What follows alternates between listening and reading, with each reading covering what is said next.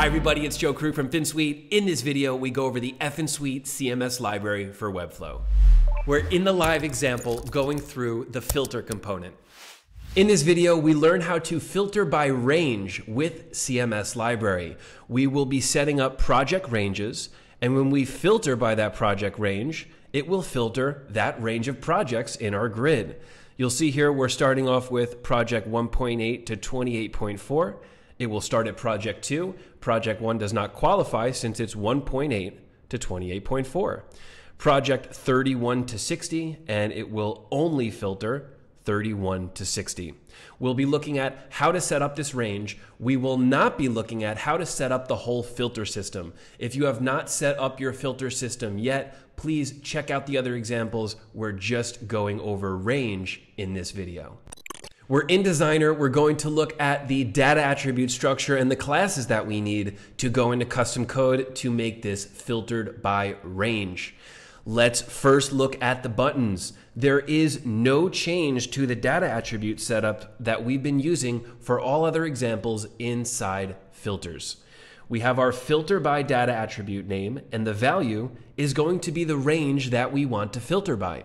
In this button example, we have 1.8 to 28.4. Project 31 to 60 is, you guessed it, filter by 31 to 60.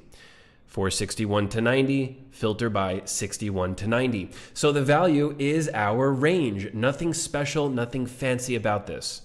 We need to make sure that we do have our filter group applied correctly.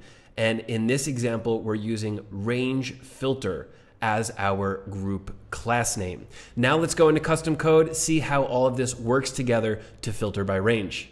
We're in custom code and we have to set one of our options to true. That option is the filter range option. We're inside of our filter groups array. And in the filter groups array, we have our range filter group. The range filter group is what holds all of those buttons that we're just filtering our projects by number. We have to tell CMS library that this is a range filter and the range filter is going to allow you to put that range in the value. If you did not have this, it would be searching for the keyword 1.8 by 1.8 28.4. That would not return anything. There's nothing with that text on the page. So filter range true is saying this is a range. Please accept the value as a range. That's all you have to do to set up a range filter in CMS library. That's effing sweet.